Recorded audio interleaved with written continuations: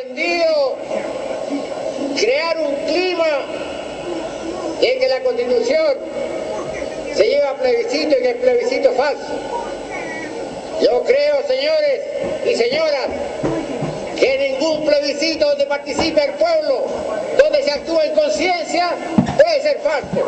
Falsos son aquellas asambleas que ocultamente preparaban y elegían candidatos para que ustedes lo eligieran.